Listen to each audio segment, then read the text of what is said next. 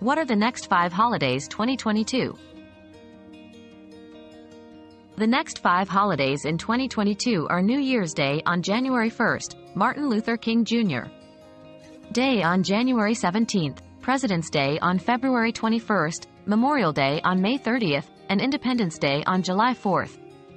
These holidays are all observed in the United States and are federal holidays, meaning that many businesses and government offices are closed. Each holiday has its own significance and is celebrated in different ways.